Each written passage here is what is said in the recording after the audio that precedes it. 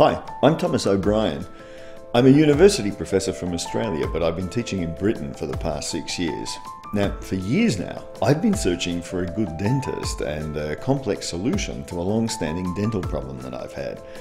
I searched the internet, um, I, I looked at all the possibilities, but I simply couldn't decide.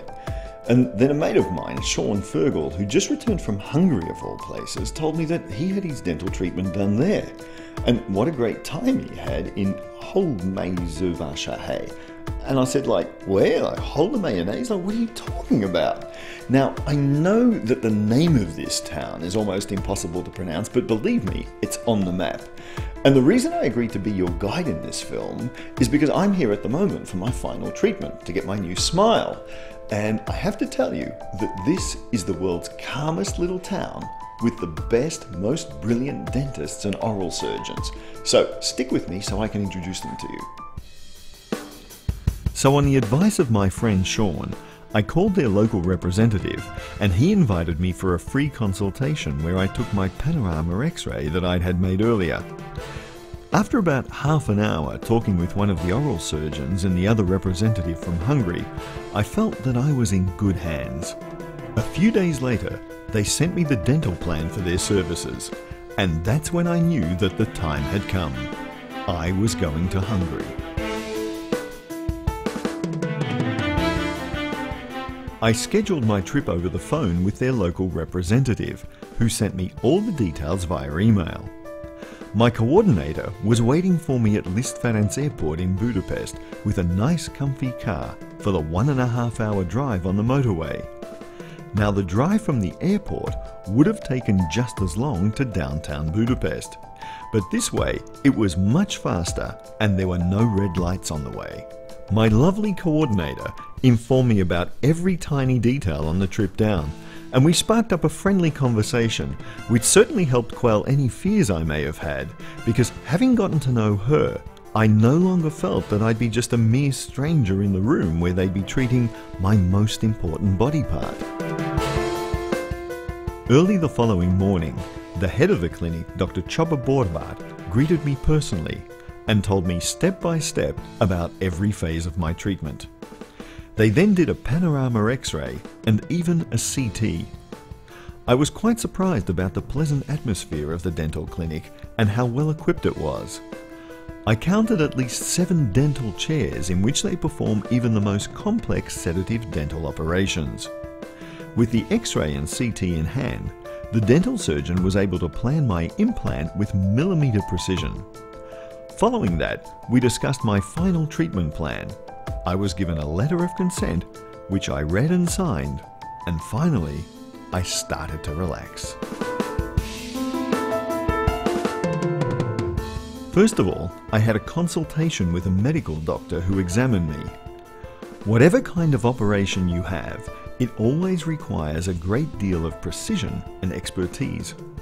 And like most people, I too am terrified of any dental intervention. Here, I was surrounded by a whole team, and then I was sedated.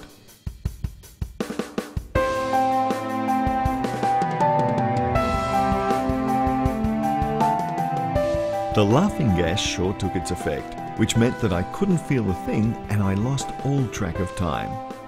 There was a nature film playing on the TV above me, and as I watched it in an almost lying position, my thoughts wandered off.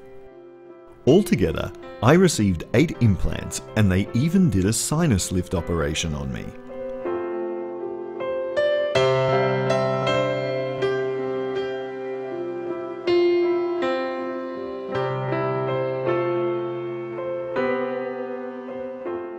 After the operation, my coordinator escorted me to a lovely room where I had a good sleep under medical supervision over the next few hours after which I was escorted back to my apartment. The next day, I felt far more relaxed during the soft laser treatment. The tension I'd felt for years because of my teeth was finally gone. The days that followed were spent resting and with checkup treatments at specific times every day. I never had to wait for anything.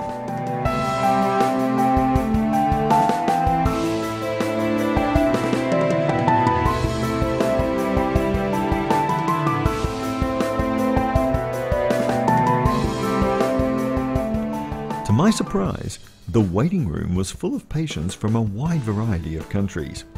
I got to know a chap named Michael who'd gotten implants under sedation and even osteopathy it was good to be able to just chat about all this with someone who knew exactly what I was talking about.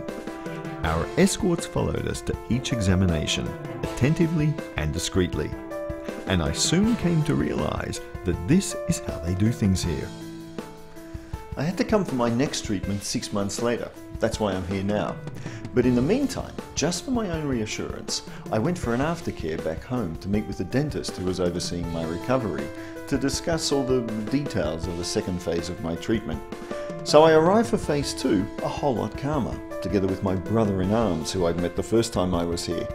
Actually, I heard that this was quite common because people often make really good friends here, and the second phase of their treatment is often scheduled so that they can meet here again, just like with Michael and me.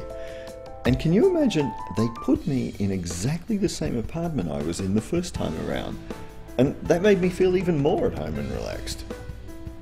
In this phase, I was put in the capable hands of Dr. Vadab, who's a specialist in implantation prosthetics and aesthetic dentistry. He only conducted minor treatments on me, and I finally got my new smile. At my request, the dental technicians immediately adjusted and corrected the colour and form of my teeth, because the clinic has its own fully equipped technical department with eight full-time dental technicians.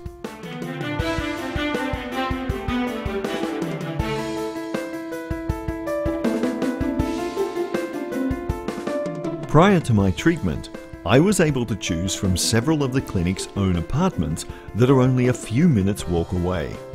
They've all been designed to meet the needs of foreign patients. The other alternative they offered was the Ginkgo 4 star hotel.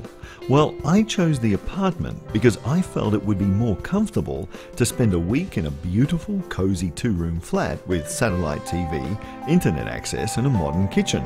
After all, you come here to rest and recover. That's why this is more than just a big town. It's like a small garden suburb of a big town, and it's completely safe, so you can take long, relaxing, calm strolls in the evenings. The restaurants are exceptional, and the mood and beauty of the town square is enchanting. Stretching out in the thermal waters of the local baths is pure therapy itself. Apart from the checkups and inspections, Phase 2 was all about resting. Before I went home, I even spent a few days in the clinic's own apartment in Budapest so I could show my new smile to the people here and let them know what great dental professionals they have in their country. Overall, I was absolutely and completely satisfied with everything. I certainly saved a great deal of money by coming here, but that's not the best thing about this clinic. I received exceptional care and attention and thoroughly professional treatment. And now I'm absolutely certain that this clinic was the best choice. Their decades of experience are a guarantee that whatever problem I have, I know I'll find a solution on one of their free checkup days. And during my stay here, I was very reassured by the fact that I met with many British, Irish, German, and Italian patients too. And that can only mean one thing that this clinic operates to international standards. I would highly recommend this dental centre to my friends, family, and you. Hey, and don't forget, the smile on your face reflects your personality and your zest for life.